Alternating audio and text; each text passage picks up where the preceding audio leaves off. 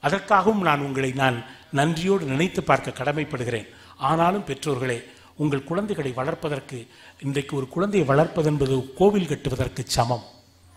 எவ்வளவு கடினம் பெண் பிள்ளையை பெற்றவர்களுக்கு தெரியும். அது எவ்வளவு கடினம் என்று.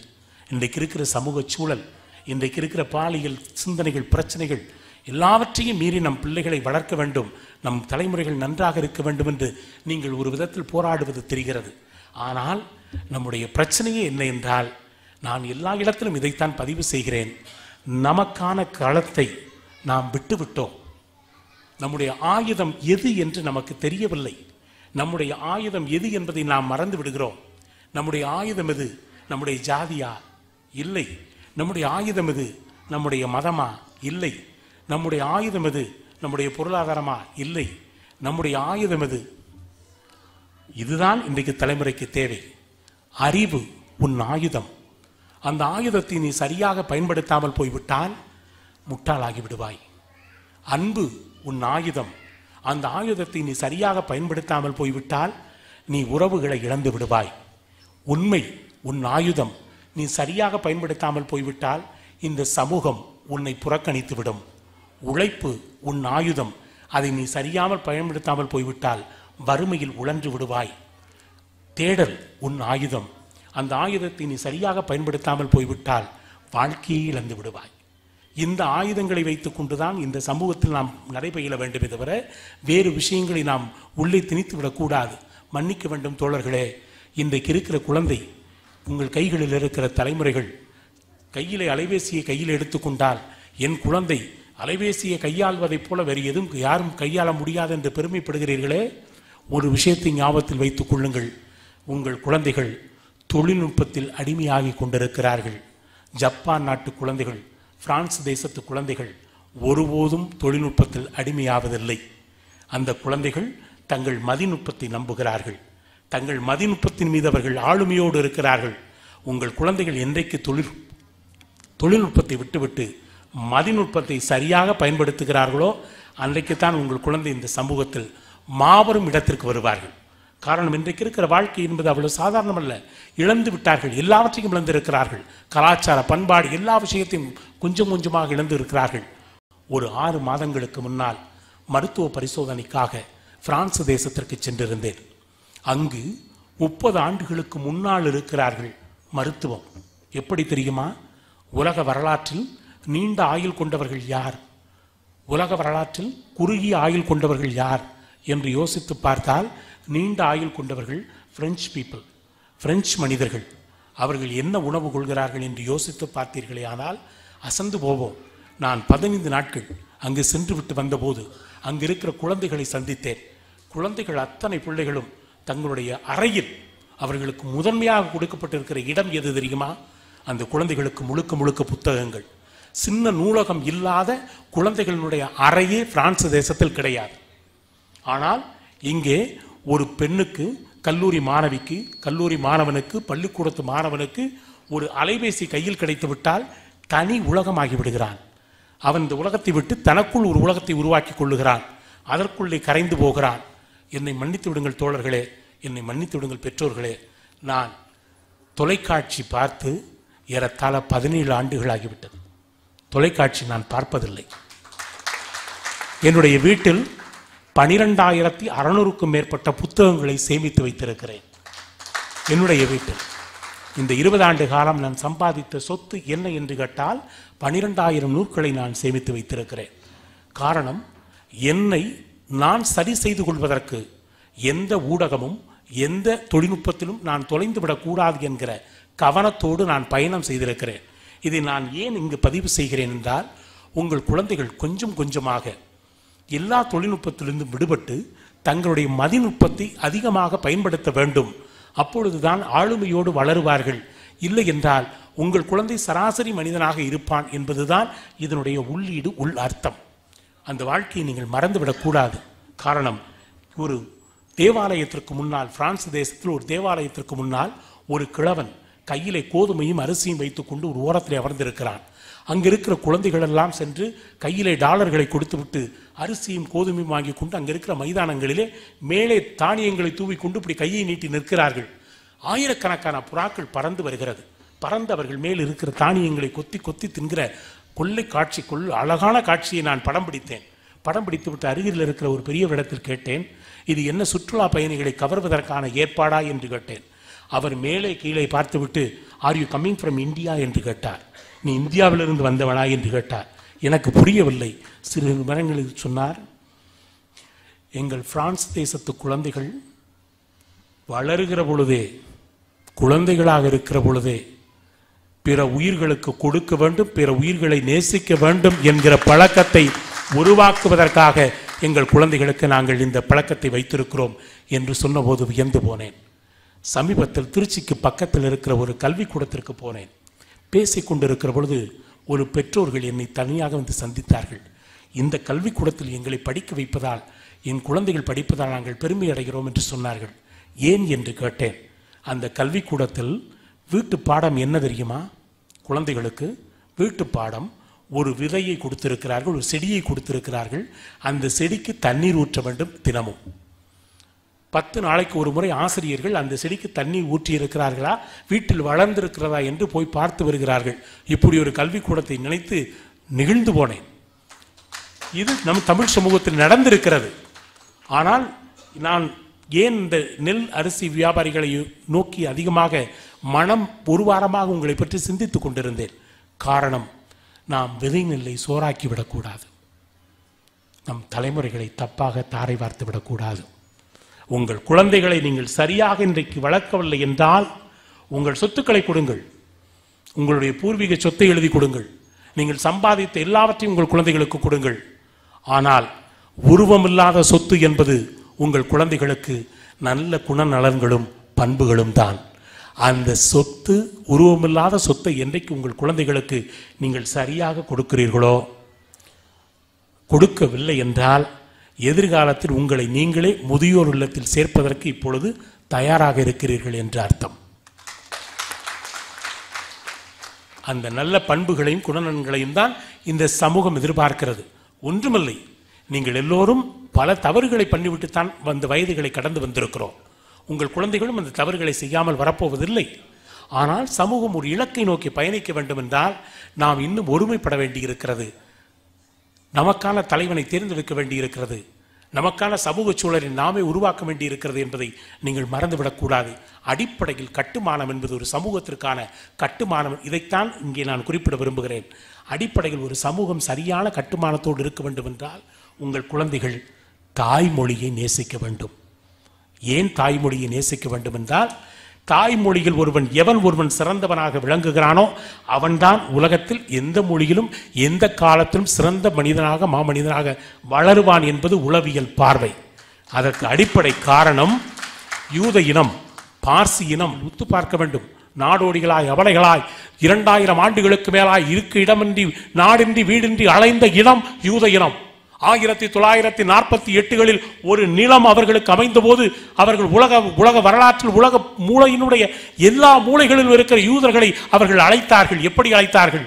யூத மொழி தெரிந்திருந்தவர்களெல்லாம் ஒன்றாக கூடுங்கள் என்று சொன்னபோது தனி நாடே அமைக்கக்கூடிய ஆற்றல் பெற்றவர்களாய் அவர்கள் வந்ததற்கு அடிப்படை காரணம் தாய்மொழி அவர்கள் சரியாக நேசித்தார்கள். காரணம் கல்வியிலிருந்து தான் மொழியில் இருந்துதான் கல்வி வருகிறது. கல்வியிலிருந்து தான் கலை வருகிறது. கலையில் இருந்துதான் பண்பு வருகிறது. பண்பிலிருந்து தான் சமூகம் வருகிறது. அடிப்படையில் ஒரு சமூகத்தினுடைய கட்டுமானம் தாய்மொழியில் இருக்க வேண்டும் என்பதுதான். நீங்கள் தமிழ் மாத்திரமே படிக்க வேண்டும் என்று சொல்வதற்கு நான் முட்டாள் இல்லை. தமிழ் மாத்திரமே படிங்கள் என்று சொல்லவில்லை. ஆனால் வணிகாதாரத்திற்காக எல்லா மொழிகளையும் படிக்கட்டும். வாழ்வாதாரத்திற்காக உன் தாய்மொழி தமிழில் படிக்க வேண்டும். இதுதான் நம்முடைய கோரிக்கை.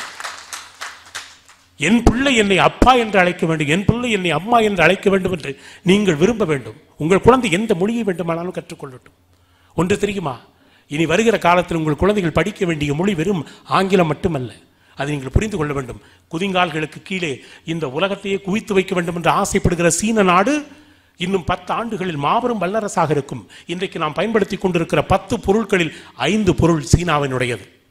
ஆனால் இன்னும் ஐந்து பத்தாண்டுகளில் சீனாவை தவிர நாம் வேறு எந்த பொருட்களையும் பயன்படுத்த முடியாது என்றால் நீங்கள் உங்கள் குழந்தை படிக்க வேண்டிய முக்கியமான மூன்று மொழிகளில் ஒரு மொழி சீன மொழி ஹெச்எஸ்கே என சொல்லக்கூடிய சீன மொழியை கண்டிப்பாக படிக்க வையுங்கள். சீன மொழி ஆங்கிலம் பிரெஞ்சு என்கிற இந்த மூன்று மொழிதான் உலகத்தை கட்டமைக்கும். அந்த உலகத்தை கட்டமைப்பதற்கு இன்றைக்கு அவர்களுக்கு வாசலாக அந்த மொழியை அவர்களுக்கு நீங்கள் கற்றுத்தர வேண்டும். இன்னொன்றை சொல்லுகிறேன் உங்கள் குழந்தைக்கு சாப்பாடு என்ன ஒரு மனிதன் பதினேழு வயதிற்குள் எதை உட்கொள்ளுகிறானோ அதுதான் அவனது பண்பாடு. பதினேழு வயதிற்குள் ஒரு மனிதன் எதை உள்வாங்குகிறானோ அதுதான் அவனது பழக்க வழக்கம். உங்கள் குழந்தைகளுக்கு கருணை கிழங்கையும் வல்லாரைக்கீரையும் கொடுத்து பழகுங்கள். காரணம் நூறு ஞானிகள் சேர்ந்து தருகிற ஞானத்தை அந்த இரண்டு பொருளும் தரும் என்பதுதான் தமிழ் மருத்துவத்தினுடைய முக்கியமான குறிப்பு. நாம் தெரிந்து கொள்வதில்லை அறிந்து கொள்வதில்லை. ஆனால் நமக்கு தேவையான இந்த தலைமுறைகளை வளர்ப்பு இன்றைக்கு எந்த பிரச்சனையும் பெரிதாக இல்லை பொருளாதாரத்தை தேடி நாம் எந்த ஒரு தொழிலை பண்ணிவிடலாம்? பொருளாதாரம் வந்துவிடும். ஆனால் குழந்தைகளை நீங்கள் பாழாக்கி விட்டால் திரும்ப அவர்களை மீட்டுக் கொண்டு வர முடியாது. விஜயோடு ஒரு படம் பண்ணேன். ஜில்லா என்கிற படம். விஜயும் நானும் அந்த படத்திற்கு பிறகு மிகப்பெரிய நெருக்கமான நண்பர்களாக மாறிவிட்டோம். அவ்வளோ பெரிய நண்பர் இன்றைக்கு. என்னோடு அவ்வளோ நெருக்கமான ஒரு அன்பும் நட்பும் வைத்திருக்கிறவர். ஒரு நாள் இரவு ஜில்லா படம் படப்பிடிப்பு முடிந்த பிறகு இரவு ஒரு நாள் அழைத்து அண்ணா நீங்களும் கேரளாவினுடைய சூப்பர் ஸ்டார் மோகன்லால் அதில் நடிக்கிறார். படம் பார்த்திருப்பீர்கள். நீங்கள் உணவருக்கு இந்த வீட்டுக்கு வர வேண்டும். அவருக்கு பிரியாணி என்றால் ரொம்ப பிடிக்கும். யாருக்கு? மோகன்லாலுக்கு. விஜய்க்கு தோசை என்றால் உயிர். மூணு நேரம் தோசை கொடுத்தா தோசை சாப்பிட்டுக்கிட்டே இருப்பார். விஜயுடைய கேரக்டர் அது. இவரை சாப்பிடுவதற்காக அழைத்து கொண்டு போகிறேன். ஒரு இரவு முழுக்க நாங்கள் கும்மாளமிட்டு கூத்தடித்து சிரித்து காலையில் மூன்று மணிக்கு உணவருந்த உட்காருகிறோம். இரவு முழுக்க ஏழு மணிக்கு வீட்டிற்குள் நுழைந்து காலை மூன்று மணிக்கு நாங்கள் உணவருந்து உட்காருகிறோம். மோகன்லால் கேட்கிறார் விஜய் சாப்பிடு விஜய் சாப்பிடு விஜய் என்று சொல்லுகிறார். அவர் காதில் வாங்கிக் கொள்ளவே இல்லை. எனக்கு ஒரு தர்ம சங்கடமான சூழல். இரண்டு பெரிய ஆளுமைகளுக்கு மத்தியில் நான் சாப்பிட முடியாமல் தவிர்க்கிறேன். கொஞ்ச நேரம் கழித்து நாங்கள் மெதுவாக சாப்பிட்டு விட்டு வெளியே வந்தபோது காலையில் ஐந்து மணிக்கு அப்படியே நேராக படப்பிடிப்புக்கு போய்விட்டோம். படப்பிடிப்புக்கு போனபோது நான் முகத்தை திருப்பி கொண்டு விட்டேன். விஜய் மீது எனக்கு கொஞ்சம் கோபம். எவ்வளோ பெரிய மனிதன் சாப்பிட சொல்லுகிறாரே நீ சாப்பிடாமல் இருந்திருக்கிறாயின் கோபத்தோடு இருக்கிறேன். விஜய் கண்டுபிடித்து விட்டார். ஒரு எட்டு மணி இருக்கும் காலையில். என்னை பார்த்தார். நான் திரும்பி கொண்டேன். கொஞ்ச நேரம் கழித்து அவர் சாப்பிட்டு விட்டு பக்கத்தில் இருந்தார் என்ன நான் கோபமாக இருக்கிறீர்கள்? அப்படின்னு. நான் சொன்னேன் இவ்வளோ பெரிய ஒரு மனிதனை அழைத்து வர சொன்னால் அழைத்து வந்தேன். நான் பக்கத்தில் இருக்கிறேன். ரெண்டு பேரும் சாப்பிட முடியாமல் தவிக்கிறோம். பத்து முறை சொல்லிவிட்டார் என்று சொன்னபோது விஜய் தன் புகழை தலையில் வைக்காதவன் தன் தரையில் வைத்திருக்கிறவன். தன் புகழை ஒருபோதும் தலையில் ஏற்றிக்கொள்ளாத ஒரு இளம் கலைஞன். அவன் சொன்னான் இல்லையன்னா எங்கள் வீட்டிற்கு வந்த விருந்தாளிகள் மனப்பூர்வமாக அவர்களுக்கு விருந்தோமல் செய்த செய்து அனுப்பிய பிறகுதான் நாங்கள் சாப்பிட வேண்டும் என்பது எங்கள் அப்பா அம்மா எனக்கு சொல்லிக் கொடுத்த பழக்கம்.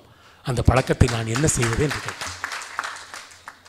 ஆனாலும் நான் விஜயிடத்தில் சொன்னேன் விஜய் இந்த பண்புகளையும் பழக்க வழக்கங்களையும் நீங்கள் திரையில் பதிவு செய்யுங்கள். அறிவுபூர்வமான கல்வியாளனுக்கு பின்னால் இந்த சமூகம் நடைபெறுகின்றால் மட்டும்தான் இனி மீட்பு வரும். அது யாரென்று தெரியாது. உங்கள் குழந்தையை கூட நாளைக்கு ஒரு தலைவனாகலாம் உங்கள் குழந்தையை கூட இந்த நாட்டை கட்டமைக்கிற பிரதமர் ஆகலாம் முதல்வராகலாம் அப்படி ஒரு ஆளுமையோடு உங்கள் குழந்தைகளை வளர்ப்பது தானே இந்த சமூகத்திற்கு நீங்கள் செய்கிற மிகப்பெரிய தொண்டாக இருக்கும். அதனால் தான் நான் இந்த குழந்தைகளை வளர்ப்பதில் பெரும் பங்கு பெற்றோர்களுக்கு இருக்கிற பொழுது நீங்கள் என்னதான் நான் வந்து கதை பேசினாலும் என்னதான் நான் உங்கள் மிகப்பெரிய தத்துவங்களை சொன்னாலும் கூட யதார்த்த வாழ்க்கையில் நீங்கள் இங்கிருந்து வீட்டிற்கு போன பிறகு அதையெல்லாம் மறந்து விடுவீர்கள். ஆனால் உங்கள் வாழ்வோடு சேர்ந்து வாழ்க்கையோடு சேர்ந்து இந்த இந்த சமூகத்தில் நீங்கள் வாழுகிற வாழ்க்கை என்பது தவம். வாழ்ந்து முடித்தவர்களுக்கு வேண்டுமானால் இந்த வாழ்க்கை வரமாக இருக்கலாம். வாழ்ந்து கொண்டிருப்பவர்களுக்கு வாழ்க்கை என்பது தவம். ஒவ்வொரு நாளும் தவம். காரணம் நீங்கள் ஒரு ஏழு விஷயத்தை உங்கள் குழந்தைகளுக்கு மறக்காமல் சொல்லி வையுங்கள். ஏழு விஷயத்தை செய்து பாருங்கள் உங்கள் குழந்தையுடைய வாழ்க்கையை மாறிப்போகும். வருடத்திற்கு ஒரு முறை உங்கள் குழந்தைகளை அனாதை இல்லங்களுக்கும் முதியோர் இல்லங்களுக்கும் அழைத்து சென்று வாருங்கள். ஆறு மாதத்திற்கு ஒரு முறை அருகில் இருக்கிற மருத்துவமனைக்கு அழைத்து சென்று வாருங்கள். மூன்று மாதத்திற்கு ஒரு முறை அருகில் எங்கேயாவது கொஞ்சம் தூரம் பயணம் சென்று வாருங்கள் குடும்பத்தோடு. இரண்டு மாதத்திற்கு ஒரு முறை உங்கள் குழந்தை படிக்கிறானோ இல்லையோ ஒரு நல்ல புத்தகத்தை வாங்கி வீட்டிலே சேமித்து வையுங்கள். மாதத்திற்கு ஒரு முறை உங்கள் குழந்தைகளை யாருடன் பேச விடாமல் காலை ஆறு மணி முதல் மாலை ஆறு மணி வரை மௌன விரதம் இருக்க சொல்லுங்கள். வாரத்திற்கு ஒரு முறை உங்கள் வீட்டு கழிவறைகளை உங்கள் குழந்தைகளையே கழுவச் சொல்லுங்கள். தினமும் ஒரு முறை உங்களுக்கு உதிரம் தந்த உங்களுக்கு உடம்பு தந்த உங்களுக்கு பாரம்பரியம் தந்த உங்கள் முதியோர்களை ஒரு நிமிடம் நினைக்கச் சொல்லுங்கள். இந்த ஏழு விஷயத்திற்குள்ளே தான் மானுடத்தின் மகத்தான வரலாறு மறைந்திருக்கிறது. அதை நான் உங்களுக்கு சொல்ல மாட்டேன். கோடிட்ட இடத்தை விட்டுவிட்டு போகிறேன். நிரப்பி பாருங்கள். என்ன மாற்றம் நிகழும் என்பதை அதற்கு பிறகு நான் நீங்கள் உணர்ந்து கொள்வீர்கள். காரணம் பத்து வயதில் எல்லோரும் அறியாமையோடு இருப்போம். தவறில்லை. இருபது வயதில் அழகோடு இரு. முப்பது வயதில் ஆற்றலோடு இரு. நாற்பது வயதில் செல்வத்தோடு இரு. ஐம்பது வயதில் அனுபவத்தோடு இரு. அறுபது வயதில் அமைதியோடு இரு. எழுபது வயதில் சந்ததியோடு இரு எண்பது வயதில் சன்னதியோடு இரு தொண்ணூறு வயதில் இருந்தால் நிம்மதியோடு இரு இந்த வாழ்க்கை சூத்திரத்தை உங்கள் குழந்தைகளுக்கு மட்டுமல்ல நீங்களுமே சரியாக பயன்படுத்தி இருக்கிறீர்களா என்று திரும்பி பார்க்க வேண்டும். ஒரு ஆணுக்கு வியர்வை போக்கும் ஒரு பெண்ணுக்கு இரத்த போக்கும் மிகச்சரியாக இருக்குமேயானால் அதுதான் மிகச்சிறந்த உடல் நலம்.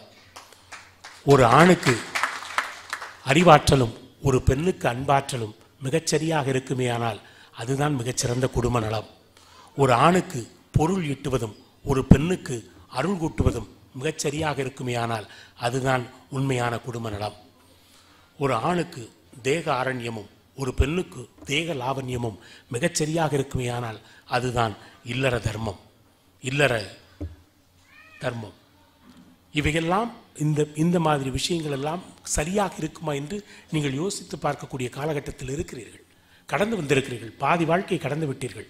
இனி உங்களுடைய வாழ்க்கையினுடைய முழு பொறுப்பு உங்கள் குழந்தைகளை வளர்ப்பதும் இந்த சமூகத்தில் சரியான இடத்தில் போய் சேர்வதும் தான். அது எத்தனை பேருக்கு இங்கு வாய்த்திருக்கிறது என்று தெரியாது. காரணம் படித்தவுடன் படித்ததற்கான வேலை இங்கு எத்தனை பேருக்கு கிடைத்திருக்கிறது? குறைந்தபட்சம் படித்தவுடன் தூங்கி விடுகிற பாக்கியம் உங்களில் எத்தனை பேருக்கு வாய்த்திருக்கிறது? இந்த வாழ்க்கை என்பது சூதாடி பெறுவதல்ல போராடி பெறுவது. வாதாடி பெற வேண்டியதை வாதாடி பெற வேண்டும். போராடி பெற வேண்டியதை போராடி பெற வேண்டும். சூதாடி பெற வேண்டியது சொர்க்கமாக இருந்தாலும் வேண்டாம் என்பதுதான் கொள்கையாக இருக்க வேண்டும். எனவே வாழ்க்கை என்பது போராடி பெற வேண்டிய ஒன்று. சூதாடி பெறுவதல்ல.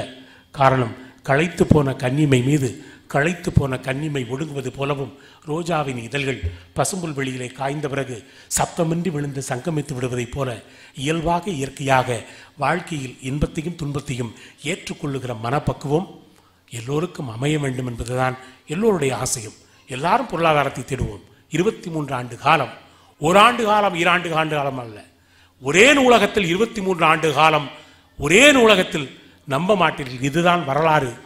இருபத்தி மூன்று ஆண்டு காலம் நாற்பத்தோராயிரம் நூற்களை படித்துவிட்டு ஒரே ஒரு புத்தகத்தை இந்த மானுடத்திற்கு தந்தவன் காரல் மார்க்ஸ்.